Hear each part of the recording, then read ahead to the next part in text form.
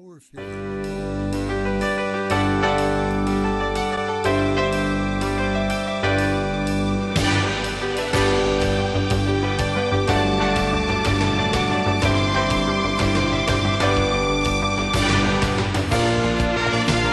Here we go. You're listening to Law and Gospel Rumination Thursday, May the 25th in the year of our Lord 2023. I'm Pastor Tom Baker, and with me is Pastor Wes Reimnitz. Hello, Wes. Okay, well, I'm here. Okay, excellent. By the way, tomorrow is open mic in the sense that you can send me an email and we'll respond to it. But uh, people still don't know my new email address, and it's the only one I have that you can get a hold of us. It's Tom Baker at brick.net, B R I C K dot net. And that's one we want you to uh, write to if you have any questions or such. But today we've got a very interesting subject that Wes found for us. It's an email uh, sent from Morningstar News about Christian teens are charged with blasphemy in Pakistan, and that could result in their death penalty. Now, what I found interesting are the circumstances as to how they were charged with blasphemy in Pakistan. Could you explain that, please, Wes?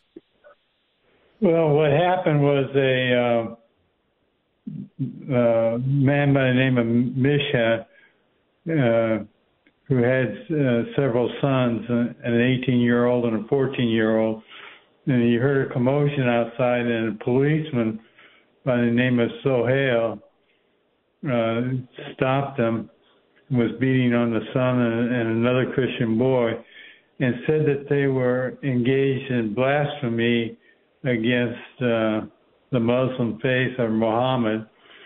Because uh, a little background, back in January of this year, the, the government passed a blasphemy blasphemy law uh, charge that could face death penalties, and this uh, policeman uh, accused him of committing blasphemy. And he's not a very light policeman because he's had circumstances like this before.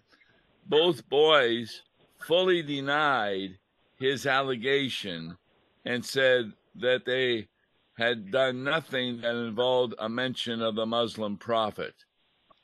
And when local elders of the neighbors asked Sohail to substantiate his accusation, he failed to satisfy them and he left. But we were shocked to learn that the contents of the first information report, in which Sohail alleged that Simon had called a puppy Muhammad Ali, and both boys had joked about it. So, by referring to a puppy, the only problem was that there was no puppy in the neighborhood, there was no dog around. And therefore, the boys had not really joked about it. But they were charged with blaspheming Muhammad, as you said, under Section 295 C of Pakistan's blasphemy statutes. And that calls for the death penalty. So kind of harsh, kind of harsh, isn't it? Well, I would say so. And nobody in the street had dogs. Neither was there a puppy in the street. But he cooked up a false accusation against those children after failing to convince the locals about his earlier allegation. So we've got a situation where Christians in other countries, and this is Pakistan, can be put to death if they say something against the Muslim faith. And, and that's the kind of problems that Christians are having today. Yeah, I kind of selected this this this article because it's going on in Sudan. There's 20 million people in Sudan, and about two million of them are Christians, and they're burning churches and murdering Christians in Sudan. In India, they're burning churches and murdering Christians. In Nigeria, they're burning churches and murdering Christians. It, it seems to be a real problem in these third world countries. So right now the children are in prison and they don't know how long those children will suffer in prison due to this false charge. So we're going to be kind of looking forward to that. But there's some statistics in this email. It says at least 57 cases of alleged blasphemy were reported in Pakistan this year alone between January 1st and May 10th.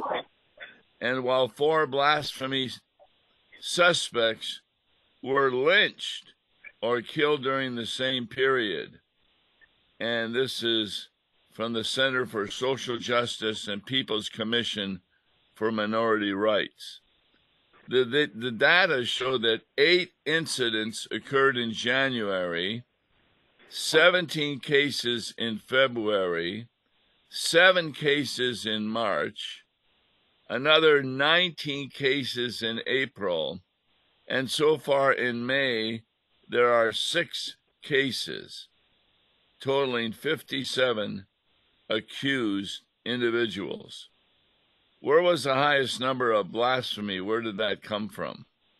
Well, that was uh, about 28 of those, and those were in the Punjab province, followed by the the Sindh province with 16, and the Khyber was eight, and uh, Azad and Kashmir with five.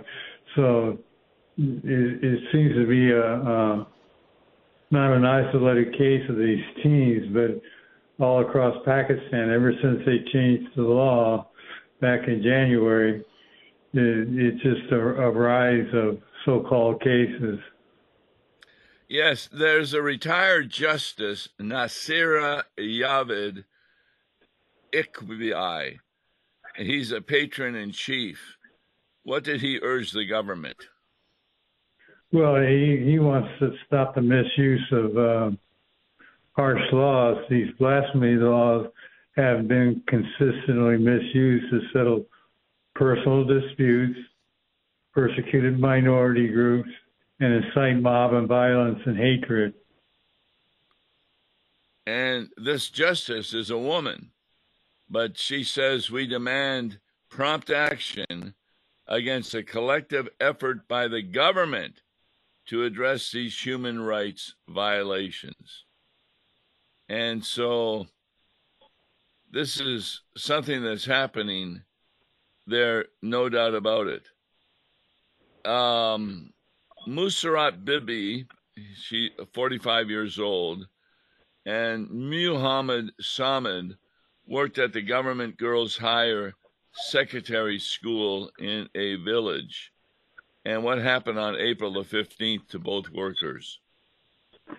Well, it was interesting. Uh, they were told to clean the school storeroom that is filled with paper and other scrapped items and the duo gathered the waste paper and other scraps in corners and set fire to them. And some st- students later noticed that the burned I- items contained holy pages. Now, holy pages being evidently parts of copies of the Quran. Yes. And um, the, they were charged with breaking blasphemy by burning those pages even though they were told to clean up the room and get rid of the papers. And so, whoever the section 295B states this this is the law.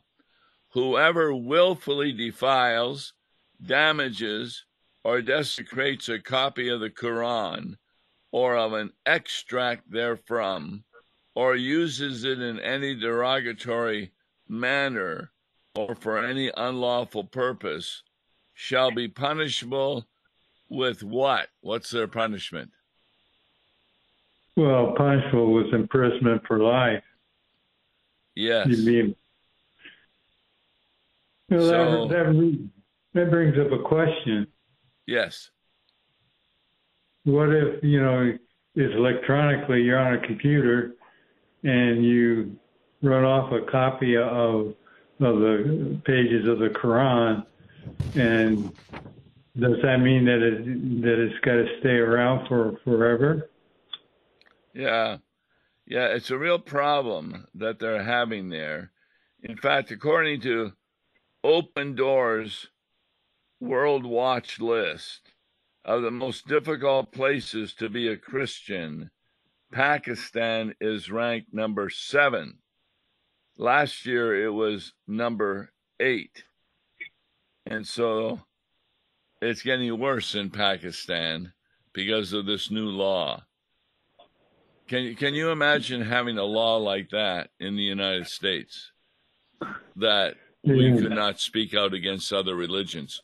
KFUO would have to Mhm. be off the air because we're always speaking out against religions like the Muslim faith and Jehovah Witnesses and Christian scientists and other religions that pretend to be Christian but they are not. So we would be Mhm. in real trouble if we lived in Pakistan. Yeah, well, it, it also brings to mind yesterday you were on the air and you talked about uh, what was it, First Peter chapter four, Yes. something as, as a Christian. I mean, wouldn't this kind of fall into that? That these these Christians are entering suffering for for the sake of Christ. Absolutely. And that's even happening, as you said, even in the United States, where there are churches, people have gone into a Roman Catholic church and really caused confusion during worship services, etc. And there have been broken windows in churches, even Lutheran churches in California, because people don't like hearing what God's word has to say, which leads us to another email you received from Robin Schumacher. And this was sent out May the 22nd. He talks about when he was driving to the gym in the morning, what had he heard on the radio? Oh, That's under the morals of the reprobate mind. oh yeah. That that's an interesting email too. Uh, he had heard some some uh, off color comedy things and some letters asking for relationship advice. The cries for help were uh, over this Tom and Bob and Tom's radio program, and uh, you know there were letters coming in on on how to handle family situations. Yeah, the one that I found interesting, it was this. I've been dating a guy from seeking arrangements for about a year. He's married, so I see him maybe two weekends a month. He recently found out that I have been occasionally dating other guys from the site, and he lost his mind. Isn't it crazy that a married man would demand loyalty? Or am I the one who's out of line? And so, how does Robin Schumacher, how does he reply to that? he goes, let's break it down. I'm sorry I'm laughing, but point to point, you know, those unaware seeking arrangements in a website, connection individuals, you had a sugar daddy mommy type situation. So the young woman might offer to be a fellow's girlfriend for a couple times a month if he agrees to pay the rent. You know. And he makes a very important point. that that would actually be an act of prostitution. Yeah. And people just don't realize that. There, there's another letter they received. It says, I started having sex with a married coworker. He cheated on me with other women. When I found out, I told him to tell me he was sorry because I don't deserve it. He could have just left me alone. He won't apologize. What do I do? I'm really upset about it. He's married, but not the only one in Georgia. So Yeah. th- this shows the reprobate mind that we have in the United States, where this individual is having illicit relationships with a married coworker, and then the married coworker cheats on him, and he gets upset because he won't get an apology. Boy, th- this really shows how far people have strayed from the Word of God. Haven't you often said that some of its roots are in the foundation of the evolutionary theory? Yeah, I am really getting more and more convinced that this theory of evolution, which has no scientific basis whatsoever, that it is one in which people are making up their own laws. In fact, um, I'm going to talk about this tomorrow about evolution, but one of the points it makes is if you believe in evolution, then you are free to do anything you want because there's no law telling you you can't. And so here's a man who's fooling around with someone who's already married who cheats on him and he gets angry expecting an apology. It shows how far things are happening in this country. And that means that Christianity really has an opportunity to give a message. Yeah, well, here in the article, Robin Schumacher brings up that uh, it's uh, saying that without God, all things are permitted. That it, there's been some um, surveys that I've read where they say that it's down to 50% believe in God. That uh, we are a nation that's kind of leaving that behind, as if God doesn't exist. Everything is possible then. Yes. But the problem is, God does exist. And therefore, there is an objective morality that comes from a heavenly lawgiver. And we want surefire proof that morals are absolute and everything is not permitted. And he makes a really good point about you take these same people that are cheerleaders of moral relativism. But what happens when certain things happen to them? What are the things Well, that happen to them? Well, they lie to to to them. They steal from them. They harm them physically or unfaithfully in a hurtful way.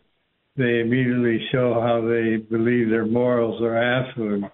It's kind of like uh, I know I'm cheating on my wife, but I'm paying your rent, so you should be committed to me and only me. You know, how dare you? You know, the uh, truth is relative according to their own belief system. Well said. If you want to toss God out with his moral moorings out of your life, he says, Go ahead. It's your funeral. And when you do, get ready for the rude awakening penned by humanist Paul Kurtz. He says, What does Paul Kurtz say? Well, if a man is a product of evolution, one species among others, in a universe without purpose, then man's option is to live for himself, survival or survival of the fittest. Well said. Living for oneself is what the Bible says an unbeliever does. The unbeliever may do a lot of apparently good works, feeding the poor, housing those who don't have homes, dressing, giving clothes to those who need clothes, but he's doing it for himself. He's wanting to make himself look good in the eyes of others or look good to himself. And that is a sinful motivation. And the only thing around that is to trust in Jesus Christ. And then the Holy Spirit moves you to do good works, but then you're not doing them for yourselves. You're doing them for faith in Jesus Christ. Um, what happened in Montana recently?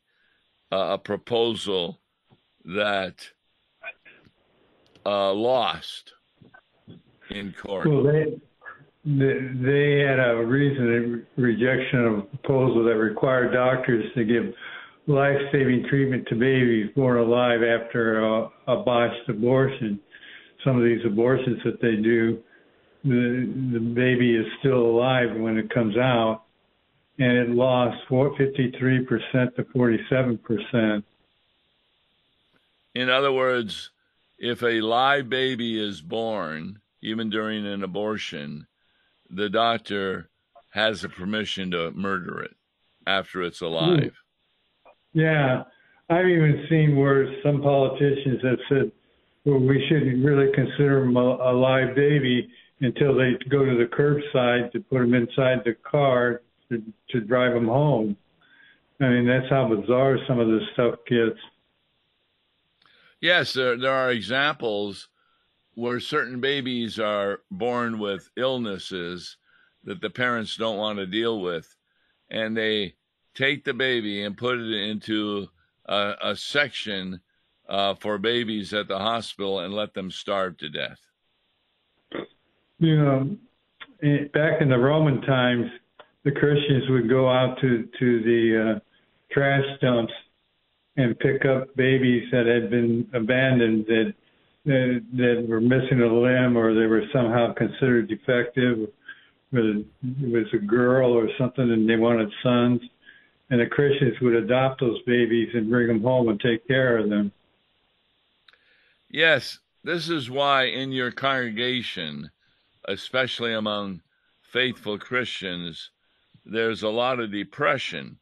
Uh, according to Robin Schumacher, he says, scroll through your favorite news sources and count how many stories are filled with all kinds of unrighteousness, wickedness, greed, evil, full of envy, murder, strife, deceit, malice, gossipers, slanderers, haters of God, insolent, arrogant, boastful inventors of evil, disobedient to parents, without understanding, untrustworthy, unloving, unmerciful, and even those who know the ordinance of God they practice such things and are worthy of death. They not only do the same, but they give hearty approval to those who practice them and really put down Christians who are against these sinful lifestyles. Because it makes a difference uh, in, in that uh, we discuss this. Uh, we are the salt of the earth and a light sit on a hill. We as Christians are called to stop this exhausting and depressing stuff that's going on. He God quotes he quotes Second Peter chapter 3 mm-hmm. verse thirteen. What does he say? Well, according to his promises, we are looking for a new heaven and a new earth in which righteousness dwells. So it becomes a, a, a time that all all people, all your people will be righteous, all believers. So that's Isaiah chapter 60, verse 21. So he ends his email Bring it, Lord. that can't come soon enough. No more crazy dear letters to the radio. So, this man, Robin Schumacher, is actually a software executive and a Christian who has written many articles and authored and contributed to several Christian books. In fact, one of his best books is entitled A Confident Faith Winning People to Christ with the Apologetics of the Apostle Paul. That's talking about using the Bible and saying the words and letting the Holy Spirit create faith. Well, once more, Pastor, thank you very much for these emails. And like he said, if you want to have us talk about a subject tomorrow, Tom Baker at brick.net. Uh, until then, I'm Pastor Tom Baker, Wes Reimnitz. God bless you. Listen to Law and Gospel each weekday morning at 9:30 on KFUO. For a tax-deductible gift to Law and Gospel, please make your check out to Law and Gospel and mail to Law and Gospel PO Box 28910, St. Louis, Missouri 63132 or call toll free 1-877-267-1962. Views and opinions expressed on Worldwide KFUO may not represent the official position of the management or ownership of KFUO, the Lutheran Church Missouri Synod. If you'd like to comment on programs or topics heard on Worldwide KFUO, write us at KFUO, 1333 South Kirkwood Road, St. Louis, Missouri 63122. You can also leave a question or comment on our comment line at 314-996-1542. We are the messenger of good news, Worldwide KFUO.